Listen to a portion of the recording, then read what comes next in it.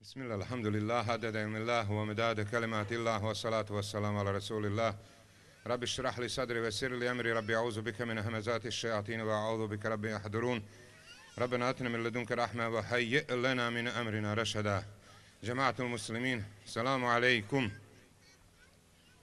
da čujem da, smo, da smo interakcija, da ste mi zvratili tako, da salam širi ljubav, pa zato poslanik kaže nećete u džennet dok ne budete vjerovali.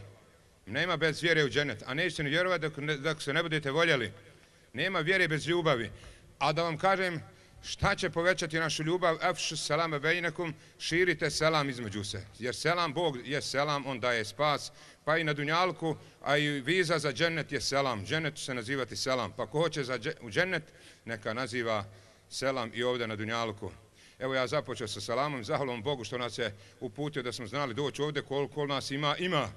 Pitali Titinog generala uvakat u Jugoslaviji, znaš li ti generalu koliko ima u Jugoslaviji kriminala? Kaže ovaj general, znam. Kaže koliko? Ima dovoljno. Ima i nas večeras dovoljno. Večeras smo ovdje u znaku kako smo najavili i ja iz Zenice čak došao ovdje, imali smo dobru navigaciju da smo znali doći ovdje e, u susret najodabraniji mjesec u Ramazanu kao znak pripremi. Za sve treba priprema, pa i onaj ko se pripremi za Ramazan, bolje će ispostiti Ramazan. Za svaku stvar, i ovi kad koncerte najavljuju dva mjeseca, oni to reklamiraju. Pripremaju se i namaz ima svoju pripremu. Ko iza trke klanja, na ko će klanjati. Zato ima abdest, pa se pripremiš, pa se skoncentrišiš. I za hač se ljudi pripremaju, kad hoće i kuću praviti, pripremaju se pa i za post. I slušajte, i ovo je malo intimno, ali to je život, najljepši život. I ženi kad hoćeš prići, pripremi se. Jer kaže poslanik, nemojte skakat na žene ko magarci. Znači, pripremite se fino, napravite uvertiru, da bi bio doživljaj veći. I to je islam. Mene kritikuju, kaže, što ti me pričaš? Pa to je najljepši dio našeg života. A što bježimo od tih tema? Ko biva, ne volimo to pričati o tome. Lažemo. Jer nas Pegamber uči kako ćemo pljunuti. I veliku i malu nuždu obaviti. I ženi kako ćemo prići pa nas uči za Ramazan, poziva nas da se pripremimo za Ramazan, da ga dočekamo draga srca, da se veselimo Ramazanu. Ružno je kad neko se ne veseli Ramazanu, zato što shvata da je Ramazan teško postiti. Zato Allah ne poziva ljude da postije, nego vjernike. Nije rekao, o ljudi propustite, o vjernici propisano vam post. Naređen, kutibe. I ko misli da je teško postiti, on nije shvatio islam. Ko misli da je teško uopšte biti musliman. Jer Allah dole na dnu stranice kad govori o postu, kaže yuridu Allahu bikumul yusr. Allah želi da vam olakša. Wala yuridu bikumul usr. Ne želi da vam oteža. Vama džela alejkum fi dini min haraj. I ništa u vjeri nije teško. Teže je, ona je teži život koji mi sebi programiramo. A lakši je život koji nam je Bog programirao. Nismo mi pametniji od Boga pa da znamo bolje kreirati život. Meni je jedan narkoman rekao, nas treba doći uslikat, pa da vidje kako mi patimo. Jer su oni sebi to tražili da budu ovisnici, da robuju drogi, ili duhanu, ili alkoholu, ili da umjesto skaču u diskoteci. I to je napor, ona ide u teretanu da razvijem šiće. A nama teško klanjati. A danas se četiri puta klanja, recimo, četiri puta strmu brdu. Pa dovoljno ti je treninga sam da klanjaš. Ovi tamo u Hamburgu kad sam bio, pa trče, švabe dobro trče. A kad mi rekao, hajde vam klanj, rekao, nemam kad, mrskom. Prema tome, što je to teško biti musliman? Što je teško postiti? Ljepota je postiti. Je poslije najljepši ibadet. Najskriveniji ibadet. I najdraži ibadet. Jer Allah rekao u hadisi kuci, as saumu li wa najze bihi, post je moj, a sve je Božije. A što je to Božiji post?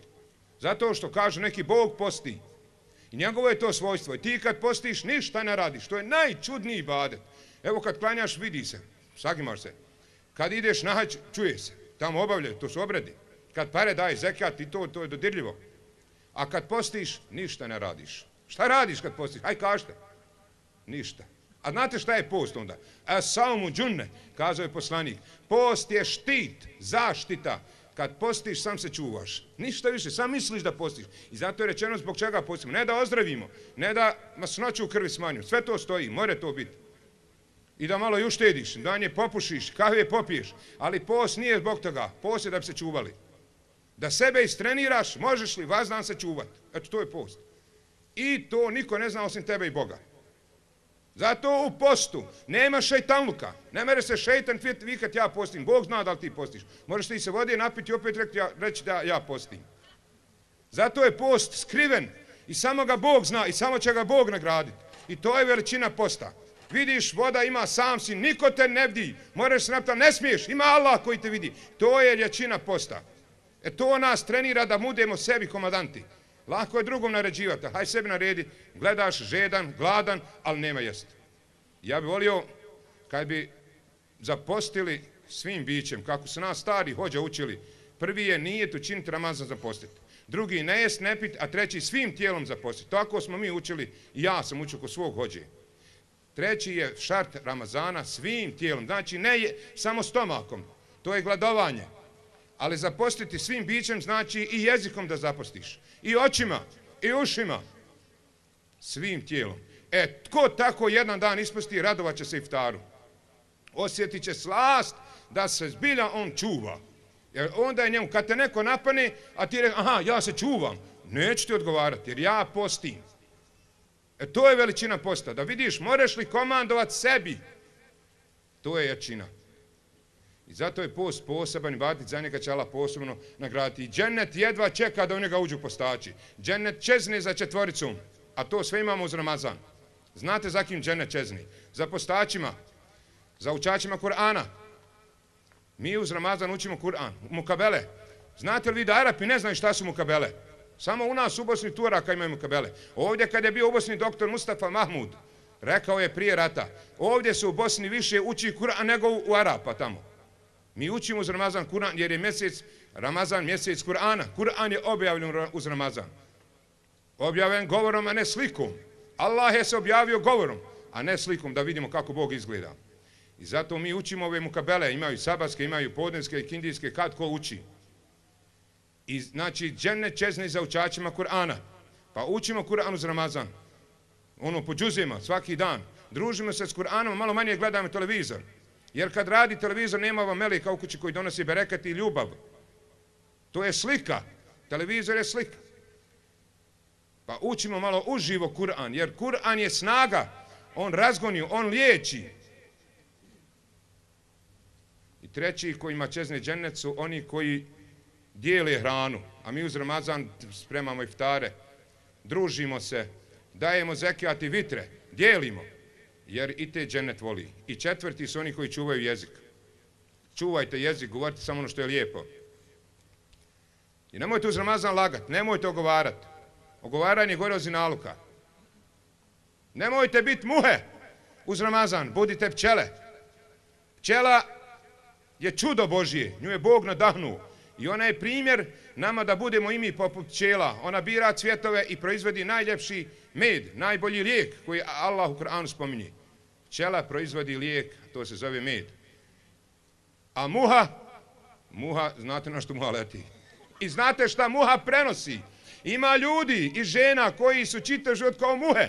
Nikad iz njihovih usta ne izlazi lijepo, ni svemo smrad. I smrad prenosi, jer, jer, u njima je to. I zato je post da nas očisti. Pa da iz naših usta izlazi med. Lijepa riječ. Allah voli lijepu riječ i ona se uzdiže Allahu. I ako ne znaš fino pričat, znaš šutit. A ono što najviše u džennet uvodi, nije ko puno klanja, nego ko puno šuti i ko se lijepo ponaša. Pa pokušajmo jedan dan da se fino ponašamo. Da pričamo ono što je hajr. Ono što je dobro. Da ne ubijamo ljude, da liječimo ljude.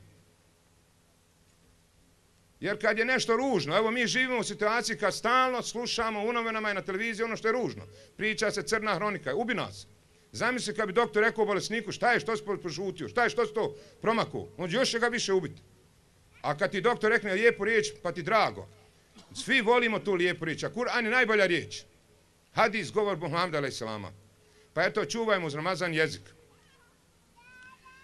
I da citiramo još jedan hadis, jer ovo smrtnut će se, ali eto, vidimo se. Neko vidi i kad zažmiri. više kad zažmiri, više se vidi. Kaže Resul a.s. Neumu sa'imi ibade. E, po, e, spavanje postača je ibadet. Eto, i kad spavaš i badetiš. Pa onda najbolje da se hura da sjediš kao u Sanđaku, tamo se po noći radi, po dani spava. Pa i vi pretvorite noć. A nema se kad puno ni spavati, sad je kratka noć. Pa bi vas zamolio od ono pred iftar, iskoristite to za dovu. Evo sad ćemo dole vidjeti kroz ovaj hadis. Znači kad postać spava i badeti. Ne može izgubiti postać nikako. Drag dalje u osamtuhu tesbih i kad šuti slavi Boga. Jer on ne šuti inako, on se čuva. Znači šuti, smisleno šuti. Najbolja šutnja. Kad jedan, nikad se nisam pokajao kad sam šutio. Nikad. A kad progovoriš, četiri se stvari nikad više ne vraćaju. Ne možeš i vratiti, a to je izbačena strela, izgovorena riječ. Riječ kad izgovoriš, gotovo je kad halalimo, gotovo ti si rekao. Pazi dok ne rekniš. Zato vodite računa o jeziku. Ako da nešto korisno pričamo. Kad jedan ti nešto nekom da kaže i kaže šta mi hoćeš reći nešto, kaže čuš, slušaj, prvo ću te pitat, je li to istina što ćeš mi kazati? Evo. Drugo, imam li ja korist od toga? Je li to dobro? Pa skontaj kad dođeš nešto reći, prvo je li istina, drugo, je li to dobro što ćeš kazati? Čak i ako je dobro, ako ćeš meni kazati ti dobro zaradio, a ja ću zdahnut, nemoj mi govoriti kaj pa dobro je, pa nije meni dobro. Ja ću odmah konta što nisi mene zvali, ja sam mogao zaraditi.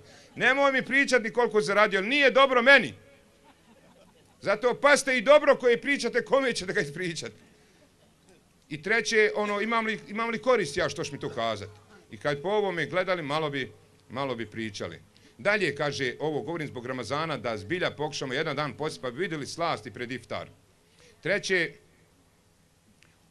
u aduahu musteđab, njegova dova se prima. Evo, postačeva dova se prima. Pa pred iftar, proučite nešto dovi. Jer postačeva, ono kad ti iskreno radi Allaha, dovu Allaha uputiš, Allah to zna. Ovo što mi kad klanjamo amenom, ovo je sam naku.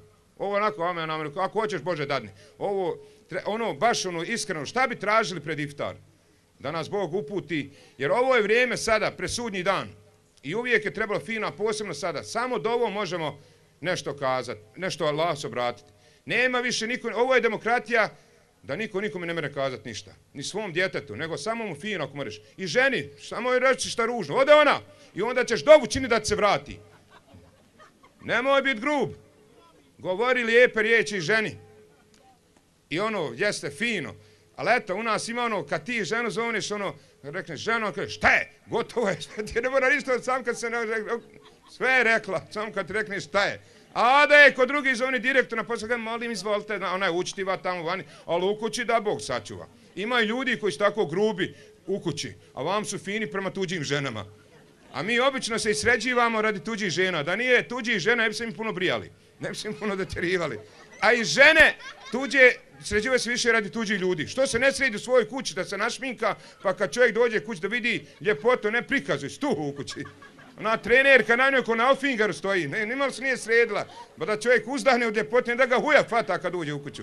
Pa budimo fini uz Ramazan i budimo pčelane muhe. Idemo dalje da ne duljim. kako ide? Ameluhu mudah. Dijela postača se uveličavaju. Uz Ramazan što god uradi Allah to 70 puta pomnoži. Pa što god si mislio uz Ramazanu radi, sad uz Ramazan, da podiješ sadaku, da kažeš lijepo riječ, da učiš Kur'an, sve se mnogo stručije. I na kraju, vazanbuhu makfur, i njegovi grijehi se opraštaju. Pa ono, pred sehur kad ustanete, recimo sad u dva, u dva i petnest, odmah se avdestite, klanjajte dva rekiata. To je ono pred zoru. I zamolite nešto Allaha. Allah čuje našu dovu. Jedan je, evo kako sam kaj, kako se iskreno pokaju, šta znači ta iskrena dova, kad rekneš, evo Jarabi, izliječi me, ti upućuješ ovo, puti mi djecu, puti mi ženu, oprosti nam grijehe i traži i para. Ako ti fali parec, Jarabi, daj mi para. Jer ali selam rekao, tražite od Boga i soli ako vam fali. Soli tražite, ali mi ne tražimo od Boga nego kad ti ne mere niko pomoći, onda kaže Bože šta je ovo, što si me zaboravio. Nego mi smo Boga zaboravili kad nam doktori ne mogu pomoći, ni biznismeni, ni niko, onda kažemo jarabi šta je ovo. Nije pošteno. Zatraži od Allaha pa će Allah poslati preko ljudi. Ne boj se, doće pare. Traži i posla. Traži štelu preko Boga. Jer je Bog najvolja štela. Jedan je drogom se bavio, prodavao drogu. Slušajte kako mu je Allah napravio jaku vezu. Ali se on Bog obratio. U toj državi, ko treći put ukradi doživotna robija, dva put je onaj, ne kradi, drogu predavu i ufati ga treći put i doživotna robija. Tek postu, momak. I sad šta je mogu? Nema sa štele u toj državi. I on pane Allaho na seždi. Kaže, Jarabi, ako mi sad pomogniš, nikad više neće drogu prodavati. I dolazi na sud. I šta mislite, kad Bog interveniši, ne treba ti štela, jer je Bog štela. I onaj sudija kao da zna šta je on na seždi rekao. I ovako mu se osmijenu i kaže, jel da je mladiću, kad bi mi tebi sad oprostili, ti ne bi više nikad ovo radio. On sam priča, vidi na njegovom licu, vidi se koje se pokaju, vidi se na insanu ko Boga se boji. Vidi se na ženi, odmah vidi je li je stalo do nekoga. Čim je pogledaš, vidi se na izvom licu i na čajku. Odmah se vidi na očima, on se vidi iz nalog. I bije iz očiju. Ne treba puno pričati, ni žene pije, ženo voliš me, vidi se kad te pogleda, kad očima sa sićima da upaniš. Koliko te voli, ko bajro materi. Vidi, djeca razumiju, odlično djeca. Ovo je dobro da me djeca razumiju. Ljepota. I da završim s ovim. E, treba se malo umjerno smijati. Kaže ovaj sudija, opraštamo ti. Zamisli kako Allah interveniši. I onda je ovaj mladić još je dodao, to sam zaboravio, bit ću hafiz. I za osam mjeseci je Kur'an naučio na pamet. Pogledajte šta znači ono iznutra. Kako Allah pomaže kad ti iskoro rekliš, ja rabi daj mi para, zaposli me Bože. Ali ne znamo mi tražiti od Boga. Samo ljudima se jadamo. Nemojte se previše ljudima jadati ako ti Allah ne da džabati ljudi. I kad ti doktori reknu da ti Bog pomogne, gotovo je. Ali mora Allah pomoć. Tako je onaj kad je nosio vino i ugleda Hazreti Omera. Gledajte te obje šta radi. Šta se čuda dešavaju. Mogu se desiti sa čuda i desilo se od u ovoj Bosni čuda. I vidi ga Omer i on konta šta sad, kako rekne, šta ti je tu? A vino, ubit će ga, kaznit će ga. I on rekne, Bože, ako me sad Omera spasiš, nikad više pit neću. I ide Omer, salam alaikum, salam, on potpazu ono vino. A Omer odmah jedne ide i kaže, šta ti je to u flaši? Šta će sad reći? Na brzinu, kaže, sirće. kaže, daj da vidim. I on izvadi flašu, kad zbilja sirće. Vino je se pretvorilo u sirće. Vidi šta Bog radi. I tako će se pojedinima griješnicima loša djela pretvoriti dobra. Ali ne znamo mi kome će Allah to pretvoriti. Ko se tako iskreno Allahu obrati. To mijenja nutrinu. To je svjetlo. I to je Ramazan koji treba da nas očisti. I ko, se uz Ramazan očisti, on je gubitnik. Zamislite sada ima ovdje posla pa da se grade ovdje kuće i kaže evo posla, ti ništa ne zaradiš. Rekli jesi budala, pa vidiš li da ljudi rade. Evo Ramazan je prilika. I to je ljepota Ramazana i on pripada čulu. Kojem čulu Ramazan pripada? Imamo čulo vida, e, mirisa, okusa, sluha, dodira. Gdje bi post svrstali? Kojem čulu? Zadnjim. Sluha. Šta sam rekao? Kelime šehadet pripada čulu okusa. Namaz vida. Ko, ko, klanja, vidiš da klanja. Vidiš da musliman. Zekijat pripada čulu dodira. Pare se broje. Hađ pripada čulu sluha. Ne ide na hađ koji ima par ko čuje. Ko je čuo Ibrahimov zov. Ne da se svakom. Sad idu mnogi na hađ na, u Antaliju, Mulcinj, Jadran. To je njihov hađ. Ne da im se tomu nekom divno nikako. Ali post pripada čulu mirisa. Znate kad se posti. Sve miriše. Zato smo se mi previše najeli napili pa vidimo ne mere svako do podne se spava. Svi imamo mobitele, auta, kompjutere, pune nam kuće svega i vidjet ćemo šta je ovo. Strah me da nas Bog ne kazni. Nemoj da jadamo, mora nam biti još gori. I zato Ramazan je ljepota da osjetimo kako i onima što nemaju. Pa je otac sina savjetao, sin privodim kraju i rekao je sine, tri ti savjete dajem. Pravi kuće po svijetu, jedi halvu i ženi se curama. Dobar savjet. Pa nije sin razumio, kaže šta to babo znači, ovako kaže. Znadni se s ljudima, gdje god dođeš, snaćeš se, kad imaš jerana svugdje. Drugo, ženi se curama, nemoj ni sa ženom previše, kad je poželiš, bit će kod cura. Treba malo odbiti od žene, ne, otići malo na teren pa da je poželiš. I oni pored Kjabe, Hazreti Omer bi govorio, nemojte vi stalno visiti pored Kjabe, otupit ćete, pa će vam i Kjaba svejedno biti. Zato je Islam ravnoteža. Zato on me Allah propisao Ramazan samo jednom godišnji, mjesec dana da se očistimo. Hađ jednom u životu, ne svake godine. Ali namaz je svaki dan, to je najteži. Što svaki dan? I to pet puta. Taj trening, zamislite pet puta konekcija s Bogom. Eto, to je veličina namaza da si u vezi.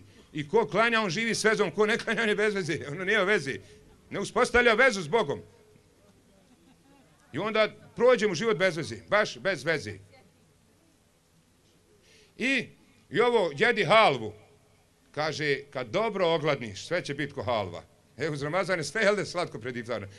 E to je veličina i to neće nikad doživjeti onaj ko nije postio. Zato treba postiti pa osjetiti na dunjalku slast iftara, slast teravije i druženja i nama treba ovog live druženja. Mi smo se sad otuđili, mi smo mislili kad budemo imati tehniku da će nam biti fino. Mi u svojoj vlastitoj kući više ne živimo zajedno. Sin je možda na kompjuteru i ko zna kad dolazi. Čerka u mene, evo ćemo primjer radi, u mene na laptopu, ona na laptopu. Ja sam u kući vamo, pored televizora, ili nešto čitam. I sreća da mi je žena sa četiri razda, imam s kim pričat. Jer da mi je žena pismena i ona bi, ne znam, na Facebooku bila, ko zna šta bi ona radila. Ili bi došla s posla, pa nezadovoljna i tako dalje. Pa evo, bar da uz Ramazan, da malo isključimo ovu tehniku. I tikaf je prilika, ako se neko zatvori u džami, da imaš vremena. Zatvori se jedan dan u džami, ne moraš deset dana. Pa vidit koliko vremena imamo. Mi ne cijenimo vrijeme i nemamo vremena zato što nas je dunjalko previše... Za... Pare, samo pare. Materijalno ovo. Sve se svodi na pare. Sad nek čerka naša radi ili žena na poslu. Da li je konobarica ili da čisti. Dođe kući, ocu i materi, kaže, joj, ja sam se umorila, da joj neko rekne, evo ti još 10 eura, hajde još malo produži, idi malo kod kuće radi. Odmah bi ona radila, jer 10 eura će još dobiti. Eto, to nas je previše, pa zato, evo nek Ramazan nas malo vrati u, u normalan život, jer Islam nudi ravnotežu i musliman je jedino normalna osoba. Ovo na zapad, imalo ovdje dijaspori. Kako se kaže kuća na njemačkom, djeco? House. E, u njih je house u kućama. ne, niko niski. A sekine je na arapskom smiraj. I ti kad doješ u kuć treba da se smiriš, a ne da ti je house.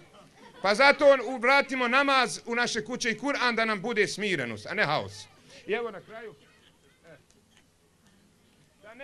da ne, gledate televizor, družite sa mnom, jedna povoljnost vama ovdje. Bio sam prije četiri godine prijedu, ne znam šta imam novo, šta imam staro. Evo ovako, brzinom ću ja samo naslove čitati. Komentar Kur'ana, ovdje svaki dan po džuz, od ponedjeljka pođeš prvi džuz pa ili utorak. Pročitaš sam prvi džuz, u srijedu drugi džuz. I vidiš šta nam Bog govori u Kur'anu. Cijeli Kur'an za deset maraka. Zaista povoljno. I onda na kraju ima svaka sura zašto se uči. Kao duhovna apoteka koliko puta se uči i zašto se uči. Druga knjiga, isto des maraka, top teme, vazovi, izabrani vazovi. Imate 80 šaljivi priča, malo da se i nasmijete. Ono predifta da vam je dosadno, malo uzmi knjigu. Čitajte, muslimani ne vole čitati, muslimani su nepismeni. Znate li koliko u Bosni ima na fakultetsko obrazovani ljudi? Samo 4%. Samo 4% fakultete su završili. 4%. Ne vole muslimani čitati. Ovo je treća knjiga, sad ću vam samo kratko reći, ona je četiri knjige u jednoj. Zašto smo stvoreni? Kad ti ne ide, onda se Bože, što si me stvorio? Često to dođe, kad te boli i para, nemaš, kaj, Bože, šta me, to sam, što patim. Zbog ove knjige kunem se Bogom. Momak, elektroinženjer, inženjer elektronike, tek se oženio i džunu podu. Nečist, neuzubila. I čitao ovu knjigu, pošao se trest. Ne znamo će se vi trest. I počeo je redovno klanjati, kad ja sad ne smijem namaza ostaviti. Neko bi rekao, joj, nemoj, nemoj da ja to čitam. Straha redovno klanj, pa moraš u teretanu i tamo se trenira. I tamo se mučiš. Pa bolje da klanjaš. Usput, treniraš i s Bogom. Ovaj meditira 8 sati u Indiji. Nako meditira? Pa što ti ne bi s Bogom meditirao? I prošao je se cigara kad je ovu knjigu pročitao. Allaha mi priča mi, omrzla mu cigare. Pa to je deset maraka, popušiš neka zadan tri kutije. I ona je deset maraka. Ko kupi sve tri knjige? Ovu će dobiti knjigu na poklon, Kažu, bolje i sirčeta džabe nego meda za pare. Tako kažu, jest. Božije poruke, šta nam Bog poručuje? Mailove čitamo, čitamo poruke na mobitel kad nam pošalju, pa da malo pročitate šta nas Bog doziva. Allah nas doziva pa da se odazovemo. 88 puta nas Bog doziva. O vjernici, uz ovu knjigu, ko kupi sve tri knjige dobije u ovu džabe i još dva CD-a. Miksani CD, 10 CD na jednom 10 sati i drugi CD hutbe, moje hutbe koje ja držim u džamiji. To je sve po 10 sati. To je 20 sati, imate čitara maza, nisu obični CD-ovi. Znači i knjigu i dva CD dobivate ko se odluči, kome ne bude šetan rekao pa gotov si propade 30 maraka, jedne su tablete 30 maraka. Ovo je more znanja, pa eto, bilo bi mi drago da Bog bude malo savjeta koristi meni i vama, da nam Allah da da dočekamo Ramazan, da nas očisti uz Ramazan, da uputi našu djecu, da nam poveća na faku, da očisti nas od grijeha i da primi naše ibadete i da nas uvede u džennet. Evo dole da vam kažem, vidite ovaj Fiat Palio, da samo kažem ako ima ovdje mlađi, ovo i kamera snima. Ovo je moje auto, slično je ženi. Da vam kažem, kad, se, kad, kad ćete reći sinu kakvu će ženu ženiti, tek traži poput mog auta. Prva osobina jeste da je ovaj Fiat Palio, ovo dole, kakva je siva boja, odignut, more i u Hamburg, i u Švicarsku, a i ovdje u Makadamu more hodati. Znači, traži ženu koja mora hodati u štiklama i u opancima. Da je univerzalna, da nije samo dama. Znači, to je prva osobina, a svak sve su žene u PDK. Znači, imaš četiri točka, kvačilo, kočicu, gaz. To je to sve. Nema tu neke velike razlike što je poslanik rekao kad je vidio tuđu ženu, vratite se svojoj, rekao sve što tuđa ima, ima i tvoja. Nije u ništa duplo. Sve isto. I auto, i ovo od 3000 od 100.000. Vozi. Druga osobina jeste malo troši, traži ženu u recesiji koja ne traži puno. I auto, i treće neće ga lopovi, Fiat, nije, nije VW. Jer ako ženiš zgodnu ženu, neš moći spavati. Kradu se auta i dobre žene. Pa u tom Fiatu možete nabaviti ovu literaturu. Da nas Allah pomogne. Salam alaikum.